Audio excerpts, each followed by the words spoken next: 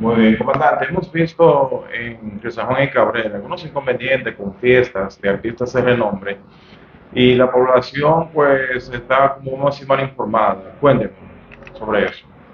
Nosotros como miembros de la seguridad pública y la seguridad ciudadana, pues nosotros cada, cada eh, institución tiene una función a cual que tiene que jugar un rol.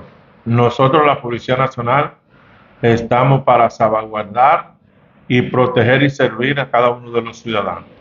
Nosotros en este, en este momento, sabe todo el mundo que hay una resolución del Ministerio de Interior y Policía y que lo dirige la Dirección Nacional del COBA. En el caso hipotético de aquí es, hay un, un director regional del COBA que nosotros en coordinación con ellos, pues ellos son los que autorizan el tiempo que va a estar abierto cada negocio. Además, en esa resolución que todos los, los comerciantes de de vida alcohólica están claros con eso, que establece que los negocios abiertos están hasta las 12 de la medianoche.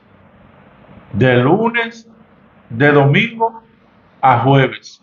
Ahora, los viernes, sábado, están hasta, las hasta las 2. Y los negocios cerrados están hasta las 2 de la mañana, de lunes, de domingo a jueves.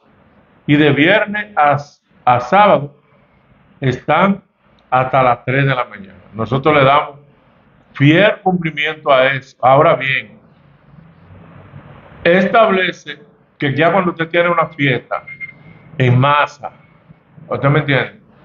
O en espacios abiertos, usted tiene que buscar un permiso. Y ese permiso no lo da la Policía Nacional. La Policía Nacional no tiene calidad para eso. Ahora nosotros sí le damos cumplimiento a todo lo que emana la ley y la constitución de la República. Es lo único. Nosotros no tenemos, inclusive nosotros lo contrario. No estamos para proteger y servir a cada uno de los ciudadanos.